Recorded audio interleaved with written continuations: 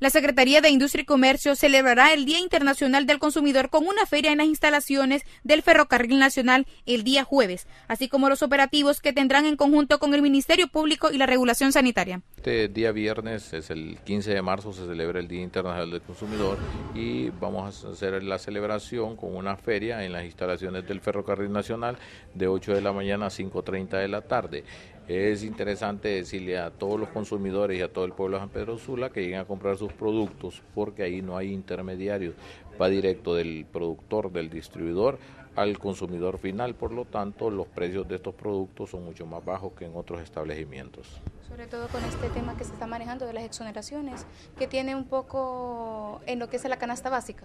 Bueno, mira, hay algunos que están asustados, pero no es como se habla de, de esas exoneraciones. Mire, hay productos, por ejemplo, embutidos. Si usted los trae de Alemania, ah, bueno, ahí tienen que cobrarle un 12%, porque eso no lo consume la mayoría del pueblo. Estamos hablando de, quesos de Holanda, ese debe de ser otro, otro precio. O sea, eh, hablar de en general de lo que es la canasta básica es bien difícil porque cómo le van a cobrar un 12% a un, a un productor de lácteos, de esos artesanales que se le dice y eh, que sacan queso semiseco y el poquito de mantequilla. No, no puede ser. Entonces no se preocupen que esos productos eh, no van a sufrir ningún incremento. Sobre todo con los productos de la canasta básica, los productos eh, que más se necesitan y que son los más complementarios en la, en la canasta básica familiar. Sí, claro, eh, ahí van a estar todos los productos y no van a sufrir ningún incremento. Por eso es que estamos invitando también a todo el pueblo de San Pedro Sula para que se aboquen este viernes al ferrocarril,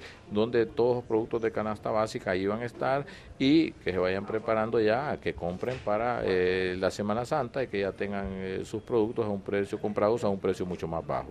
Hace mención de la Semana Mayor, que ya comenzarán los operativos en las distintas eh, lugares. Sí, este, este día, miércoles, tenemos una reunión a las 2 de la tarde en el Ministerio Público, donde van a participar cinco instituciones, que es la fiscal de protección al consumidor, es el director de Dije Pesca, eh, va a estar el, doctor de regulación sanitaria, va a estar el director regional del transporte y va a estar eh, su servidor por parte de la Secretaría, donde vamos a planificar los operativos de Semana Santa. Eh, quiero decirle que con lo del transporte vamos a estar sábado, domingo y lunes de Semana Santa protegiendo a todas aquellas personas que van a viajar y que no les cobren mucho más de lo que ya tiene establecido un pasaje para algún punto. Con imágenes de Jorge Pérez, informó para Canal 6, Claritza Matamoros.